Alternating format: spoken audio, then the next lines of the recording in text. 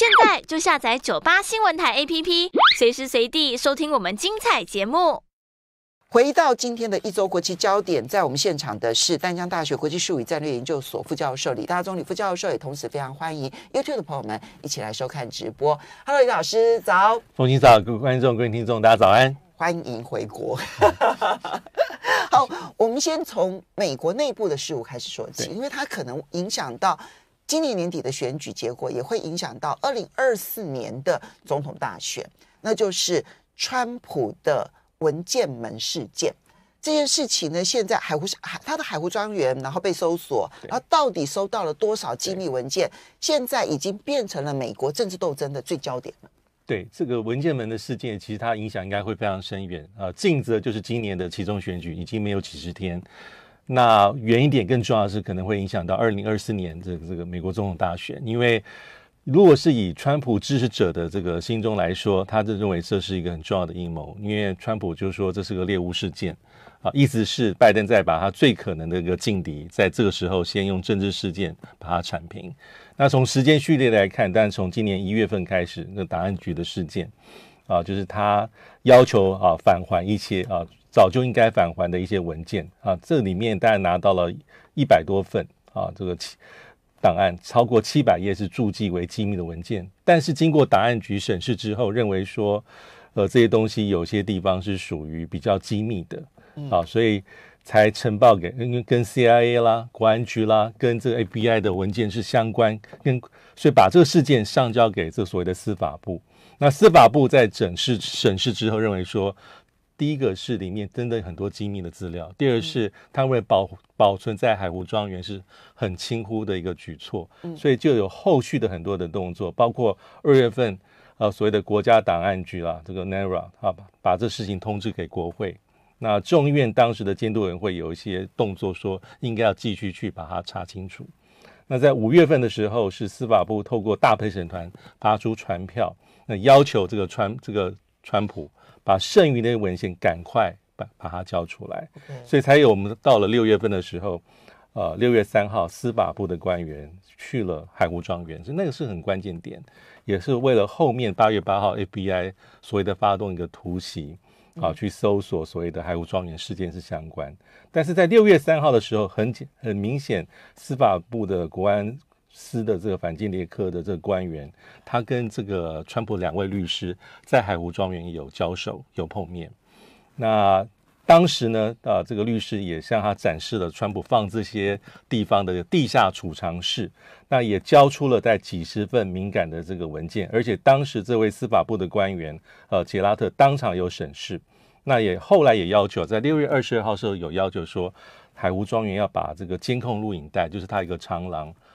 啊，这通向这个这个这个地下室的这个要把它拿出来，但他想要看说有没有在这个关键的时期里面有员工移出一些档案文件的一些资料。这是六月二十二号，在八月八号不是有搜索？八月八号之后他又要了第二次，他想要知道是在八月八号 FBI 执行啊这个海湖庄园行动之前有没有一些类似的一些举措？所以后来我们当然重点是放在八月八号这个行动。行动搜查之后，是有二十六个箱子被带走，那里面最后透露是有十一份很机密的这些资讯文件，包括了最高层级的一些资讯。那这是在十一份，嗯，那最后是在八月二十三号，就是在在上礼拜的时候，这个这个所谓的档案局在他网站上一个公开的一公开一份文件，这份文件其实其实一份信件。就是在五月十号，啊，这个档案局的代理局长沃特写给川普律师啊科科伦的一封信。那这个信件里面，就是我意思用这种方法来公诸于世，说为什么我对这事情很关切。就是我之前已经跟你沟通过那么多次了，我人都到了你的海湖山庄跟你沟通了，对然后你一直没有好好的回应我，所以我才要搜索的。对，那这是档案局。那他这份信很有意思，就是呃他。里面讲说哈，我们在这个呃一月份拿到的这些讯息里面，是有一百多份文件，十五箱，一百多份文件里面有七百多页是有被注明是这个这个机密的层级。嗯，那而且在这封信里面，其实这封信里面是五，其实五月十号还没发动搜索，五月十号档案局的局长代理局长写给川普的律师，那里面其实也也有提到说，呃，这个川普律师试图去阻碍啊，就是不让一些资料再把它还给所谓的档案局，这是在八二三这个动作很大。那八月二十六、八月二十五号的时候啊。这个美国的法官是下令说啊，司法部你要在美东时间二十六号的中午之前，你要公开哈这个所谓的政府啊这个搜索川普海湖庄园的一个这个宣誓书的一个删减的一个删减过的一个版本。李老师，其实刚刚讲到这一些啊，其实。之所以美国的司法部他必须要把，比如说我之前到底怎么跟你沟通的，哈，你五月的我五月的时候写了一封信函给你，然后呢六月的时候还去了你的海湖庄园，然后呢，当我还把你的监视器给调出来，对，然后呢，我这里面还拿了几箱回来的文件，可是还有几份呢没有你没有还我，什么等等的。他之所以要公布这么多，就是因为在美国内部现在争议非常的大，对不对？要适宜。然后，美国的这一个法院会判决美国司法部必须要公布那一个宣誓书，对，也都凸显出来这件事情，即便在司法界争议都非常的大，对，不是只有在政界争议很大，在司法界争议都很大，对，而且他公布的这个是删节过的，就是有些地地方被盖掉了，对，零洋洋洒洒带有三十八页，那盖掉地方可能是跟呃这些一些。因为里面有一些证述、证人的证词，还有一些人名，可能会保护他，避免破坏掉这些所谓的证据，避免破坏掉到调查。所以最后在这个八月二十六号的时候，司法部的确呃提交一份已经经过删节后的这个联邦调查局啊八月八号这个搜索的一个搜查一个这个宣誓书。嗯那佛罗里达佛罗里达州的联邦法法官啊，这个莱因哈特马上公布，把这个宣誓书，就像刚才所提到，删节过，有些地方遮盖住，但把它公开出来。嗯，但目前看起来，在里面有几个重点哈，就是第一个是哈，他明确指出，有一百八十四份机密档案，其中包括二十五份是最高机密，最高机密里面甚至包括说有一些啊，为美国国家安全啊情报的一些。线人的情报资料，所以是非常的敏感。嗯，这是第一个宣誓书里面大家目前看过之后的重点。第二个是哈，他特别提到说哈，档案局特别为为之所以会想会取得上述十五份文件之后，要求哈在一月份取得之后，要求司法部介入追查，主要原因是因为他们认为川普在保存这些档案文件的时候，他是非常的轻忽。因为大量的机密的资料跟总统的一般的东西啊，比如说一些报纸、杂志、照片、笔记都混在一起放，然后呢，存放地点就是海湖庄园哈，因为海湖庄园基本上是一个私人的俱乐部，对，川普之前是买下来，没错，但是里面人进人出，它没有高度的一种保全，它其实并不算是私人住宅，对。对，它是个俱 club 俱乐部，一个俱乐部，所以是不设防，加上你处理的很轻忽，这是这份啊透露出来的这个宣誓调查书删减版本里面第二个重点。第三个是档案局认为说有相当理由相信啊，有一些。呃，川普在妨碍司法一些证证据，可以在海湖庄园里面寻获，嗯但这里面细节没有很清楚。嗯，那最后一点很有意思是，也透露说，其最早最早还不是今年一月，最早是在二零二一年五月，就是拜登已经上台四个月，档案局就联络川普说，啊，认为带有几十箱至少白宫的文件应该要在，不是应该要回到档案局啊，因为根据。啊，美国的一个规定啊，这个一九七八年通过的总统档案档案法啦，白宫的这些文件记录不是是属于联邦政府的财产，而不是属于总统，而不是属于创建这些文件或跟这文件有关的总统所保留。其实说穿了，其实川普其实就是一个特立独行，然后不遵守法纪的一个人。对这件事情，到底对于这个十月份的其中选举会有什么样子的影响？对于川普要在二零二四年重新的想要选举，又会有什么样的影响？对，因为现在就他的这个效应可能是很复杂的哈。因为如果是为川普做辩解，或他支持者认为说，这顶多是你处理疏忽轻忽，嗯，但是你这样大阵仗的去有这么多的动作，从六月份到八月份这样子，那就是一个在做政治的猎杀。所以川普马上就说这是政治的那个猎物。嗯，那他的他的这些律师会说这是属于总统的行政的特权。嗯，啊，我如何去处置这些东西？因为听起来听到现在为止，你就会觉得他似乎没有强烈的犯意要去危要危害国家安全，对不对？哈，对，他就是他。嗯，对他就是一个嗯，对，可能无知的人这样子。但是拜登咬死，拜登反驳说：“这个你这样做是没有任何的先例，你这样大量轻忽把这东西，他就是个没有道德的人。”因为从这个一九七八年通过档案总统档案法之后，其实过去也有些小一些小部分的案例是属于啊，比如说总统旁边的幕僚或是官员有一些档案他处理不当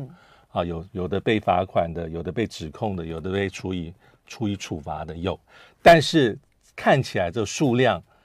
还有情节都没有像这次这么大。但是川普很容易讲，就是说我这是顶多是疏忽，嗯，我没有刻意要如何如何，嗯，但是你这样大阵仗，而且他们现在讲的是。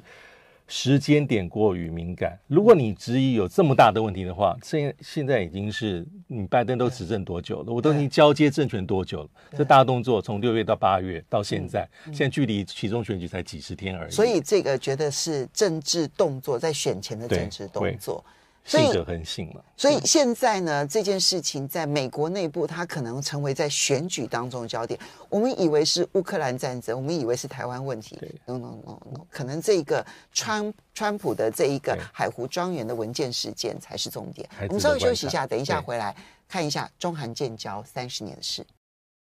欢迎大家回到九八新闻台财经起床号节目现场，我是陈凤欣。在我们现场的是淡江大学国际术语战略研究所副教授李大忠李副教授，也非常欢迎 YouTube 的朋友们一起来收看直播。好，那么呃，老师，这个中韩建交三十周年，其实每一个十年呐、五年呐，好，好像都是蛮重要的。但是这一次的中韩建交三十周年，看起来阴霾处处。因为没有一个共同的一个庆祝大会，而是分别在北京跟首尔举行庆祝的会议。所以这个建交三十年其实真的很快，因为在一九九二年八月二十四号，当时是韩国政府是卢泰愚政府啊，转而跟北京建交，像一晃三十年过去。嗯，呃，过去可能在二十五、二十，可能那时候感觉是比较盛大。那三十周年是个很重要的一个一个日子，但是但是现在很多的一些新的变数在里面。在二十四号，这个王毅跟这个韩国外交部长出席，各自出席在北京跟同首尔同步的这个建交三十周年的纪念活动之前，其实其之前还有一个很重要的一个会晤，是在八月九号在青岛，嗯，这个王毅啊跟这个韩南韩的外长啊，这个朴正，他有一个有一个有一个很重要的一个对话跟会谈，就那里面其实也谈到很多的东西啊，因为是三十周年啊，所以里面谈到说未来我们要怎么去做。当然有很多很好的愿景，比如说要啊要进行所谓的战略跟这个外交的二加二的对话啦，好中韩自贸协定第二阶段要赶快加深啦，啊把这中韩文化交流年这个闭幕把它做好，这些都提到了，好，但是呃里面，但我觉得那一次的会晤啊，因为看之前对。尹锡悦呢，其实是在听取了 Chip Four，就是美国所推动的。晶片四方联盟是。这件事情之后，然后尹锡悦要求普正说：“你先去跟中国沟通，对，然后呢，让中国了解我们参加 t r i p o 这件事情不是不是为了要围堵中国的，要让中国了解。我觉得在那件事情上面，它比较像是要参加 t r i p o 先寻求中方谅解。对，那所以里面也的确有谈到说。呃，像是这个供应链，当然也还提到一些后来比较争议的事件，包括像萨德的事情等等等等。那这个其实这个三十年回顾起来，其实看起来，如果是从经贸数字看起来是有些大幅增长，因为建交初期哈，这个韩国跟中国大陆的这个贸易额是六十四亿美金，到了去年都是突破了三千亿，所以以这个数字来讲，是成长了好几十倍。嗯，那韩国对中国大陆的出口啊。包括是自中国大陆的进口这些程度上，其还是有很大的一个重要性。嗯，啊，这都是一个很重点。但重点是因为现在是文在寅政府上台，所以他的一些政策，对对，尹锡悦他的政策是跟过去的文在寅政府有重大的差别。嗯哼，啊，因为尹锡悦基本上在竞选时期就非常强调是我对外政策是强硬的、保守的，包括对北韩。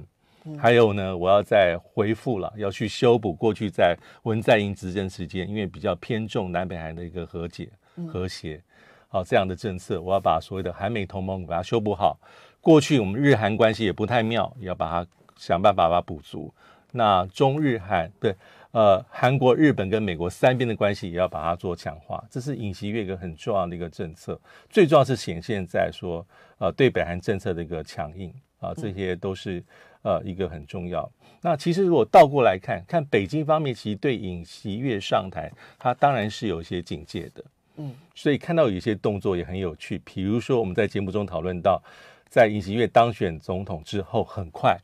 习近平就。这个祝贺致电祝贺尹锡悦当选总统，打破惯例，因为你还没有真正就位。嗯，还有就是北京参加这个尹锡悦五月十号总统就职大选人选，明显规格是故意提升。嗯，王岐山，王岐山是国家副主席的一个层级。因为在过去大家都是副总理，比如说，呃，二零零八年李明博上台的时候是国务委员唐家璇，嗯，在二零一三年这个朴槿惠就职的时候是派遣是国务院副总理刘延东，嗯，那这次很可很明显就是我知道韩国现在可能政策会有些偏移调整，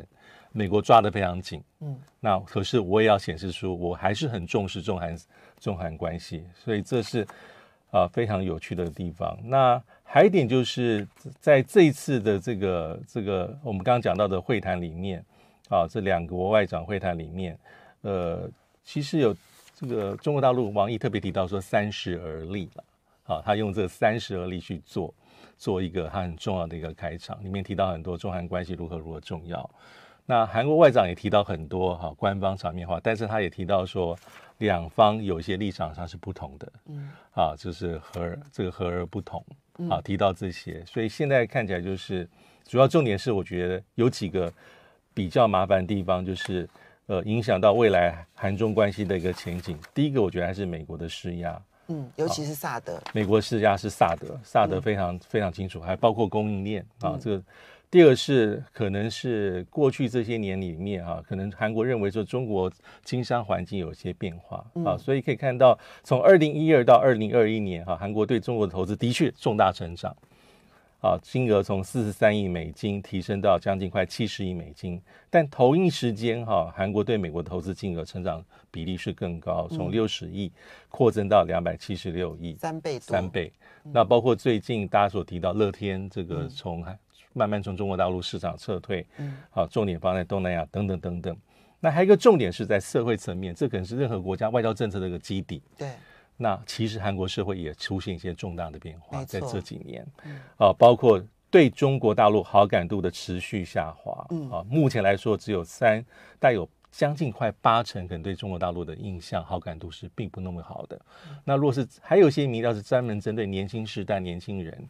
啊，他们可能看待周遭国家的好感度，可能是美国最高，对，日本第二，嗯，北韩呢就是北韩第三，啊，最后中国大陆可能是垫底，这可能也修正了大家一些刻板的印象。过去大家认为说韩国可能对日本的感觉最差，但是目前可能是对中国大陆也是如此。这些是个基最后一个议题就是萨德，嗯，萨德就是。在这个呃前政府温在寅时期是比较低调处理，基本上是 OK，但美国是不满意。但是因为现在的这个新政府是非常就是要重新把这萨德再做起来，所以成为重大争议，成为中韩的紧张关系。我觉得已经是有一点了哈，已经已经是很明显。因为萨德其实，在呃当时在朴槿惠时期哈，就是朴槿惠曾经是在他任内是中韩关系还不错。而且他曾经力抗萨德，力抗萨德，但是挡不住压力，挡不住美国的压力。对，那最后是在二零一六年七月份，在朴槿惠时期做出说我要部署，跟美国共同宣布要部署。可是那是他任期的后面呢，因为这个文在寅是在二零一七年的这个五月十号就职，和萨德的一个部署是在二零一七年三月份啊，发萨德系统的飞弹车。还有它的一些哈雷达哈，这一开始少量进入到韩国的境内，到四月二十六号的时候，另外四辆进来啊，发射车还有测控雷达，它是到这个文在寅这个政府上任之后，二零一七年的九月十号，好说初步完成部署跟作战的状态。可是有一个重大转折，是在二零一七年文在寅的第一年十一月二十二号的时候。当时南韩政府表态说，哈，就是后来我们所提到的这个三步，嗯，啊，意思是把这个整个事情冻结下来，嗯，就是已经对。的建设，对，已经进来的就不管，但是我有一些所谓的三步，那三步但基本上是我就不加入美国的飞弹防御体系，我不追加，我不追加进入的就算了，我不追加部署萨德，而且我不会去推动所谓的日美韩三国的军事同盟，因为潜在对象就是整个中国大陆。这是在文在寅政府时期，可是尹锡悦不同，尹锡悦在竞选时期的时候，他就对萨德说：“我要重新部署。”嗯，啊，所以这就成为一个很重要的重点。所以我们看到，在七月二十七号的时候，当时北京很特别的一个表态，很强硬。外交部发言人说：“哈，新官不能不理旧账。”嗯，就是他认为说这是你过去同意我的，我们之间的一个共同的承诺，你不能新政府上来之后就把前面一笔勾销，就说我要重新部署。那这这后面就是有很后续的一些动作，然后朝鲜日报当时有引述北京的一些消息啊，指称这些东西。那北京基本思维是萨德是萨德是军事没错，但他因为北京有他的一个讲法，他最最明显讲法说，一开始反对原因是说啊，萨德你说你是要防卫北韩的飞弹威胁、军事威胁。但是当你这个雷达部署到境内的时候，基本上我会被你看光光，全都漏。我很多地方，华北、华东、渤海、黄海、东海区域里面的这些部署，都会被你看得很仔、很仔细，而且这会影响到我对美国的战略核主实力。好，所以你跟我讲说你在防范北韩的弹道飞弹威胁，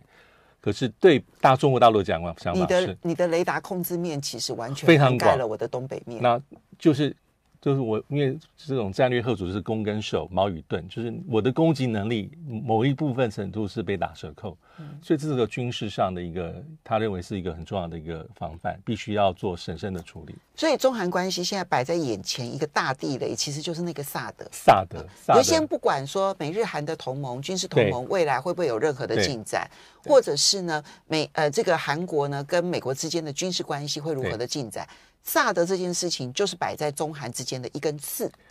这根刺什么时候扎的更深一点呢？其实会让两边其实都不要讲说政政府高阶了了哈，我相信民间都会大大大暴怒。这也是从二零一二年一直到现在，双边关系就越来越社会面紧张的重要的原因，对不对？哈，从萨德开始，然后就开始传出有限韩令啊，或者是没有限韩令啊。然后各式各样，大家彼此之间，你泡菜是怎么一回事啦？对，就开始有一些民间上面的一些争议。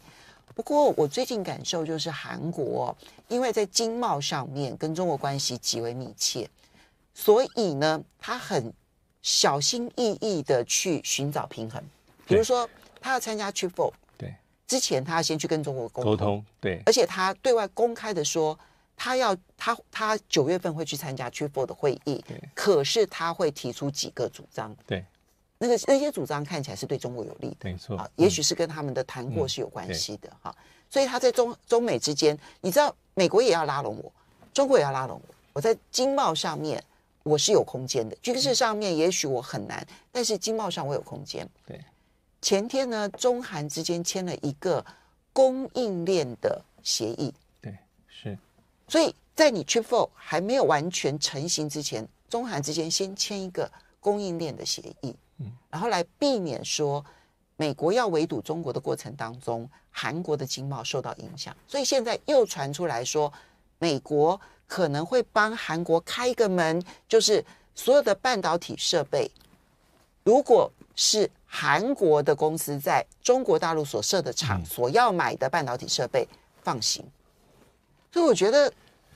韩国在中美之间是有在经贸上面要到他要的耶，他争取到他最有利的一个位置。对，虽然美国对他施压，但他他有自己一个最大利益要做维护嘛，因为我不可能完全把中国大陆给放掉。是你也在安全、在政治、在经贸、在供应链上都是如此。但眼下拜登政府又对我有这么大的压力，所以我想韩国是反映出他这些心中的一些关切，所以最后可能取得。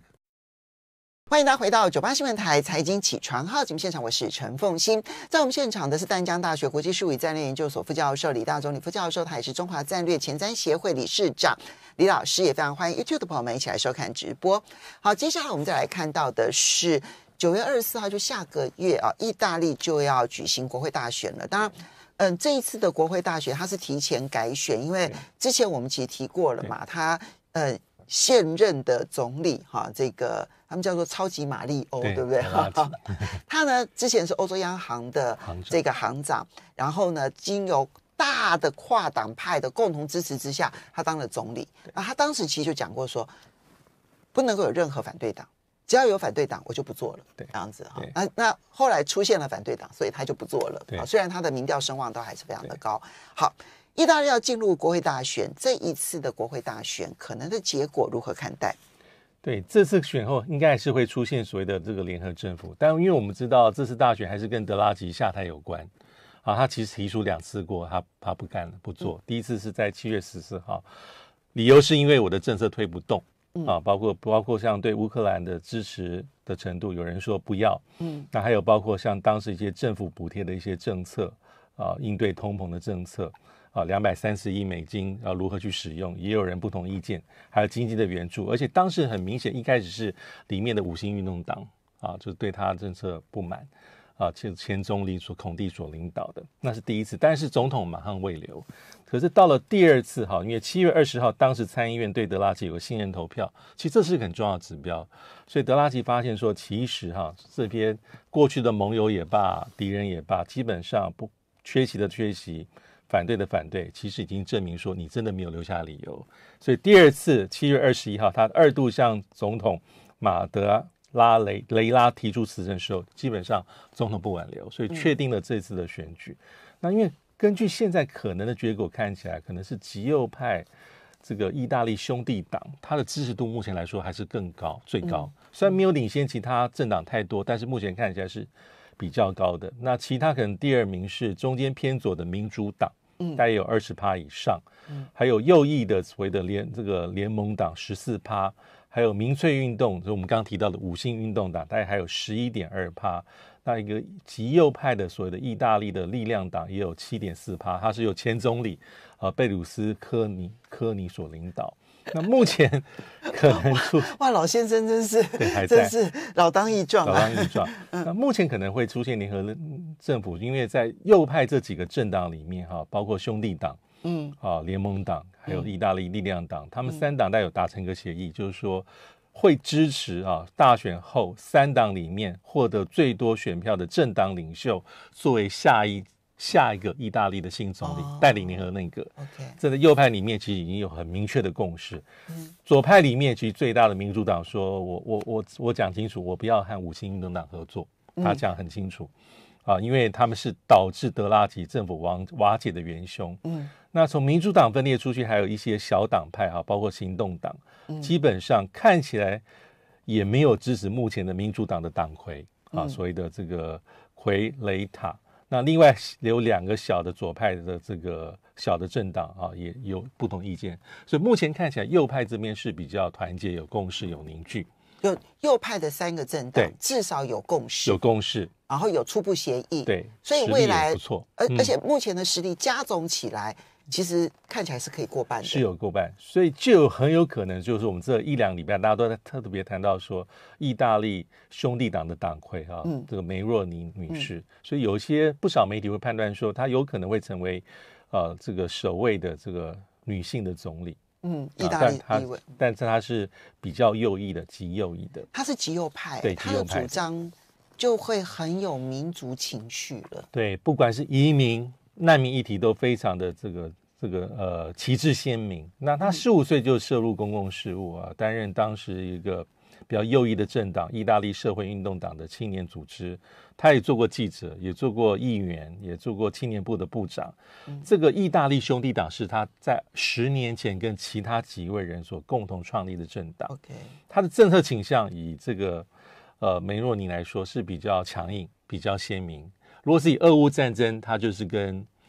他就跟那个刚才所讲的这个五星运动不同，不同他是比较支持乌克兰，嗯啊，比较明确去反对这俄罗斯。那对大家都会比较关切对中国大陆政策，嗯因为前总理德拉吉基本上已经比孔蒂更警戒中国大陆的，包括“一带一路”。对，还有中国大陆企业在意大利近年的影响力，所以他任内至少五度动用所谓的黄金权力去阻止中资的收购。但假设这位梅洛尼上台之后，他的政策可能会比前政府更强硬，比那前十八个月，嗯，呃，更加的强硬。比德拉吉更强比硬。德拉吉会更强硬。啊，嗯所以大家会目前关心他，但是很多人会比较关心他梅洛尼政策是不是太过于右，嗯。啊，在移民难民或是在一些比较、比较狭隘的一些比较爱国主义，嗯这是大家比较关心的地方啊。年纪也很轻，所以在九月二十五号之后的这个阻隔状态啊，假设如现在所预期，它的确很有可能。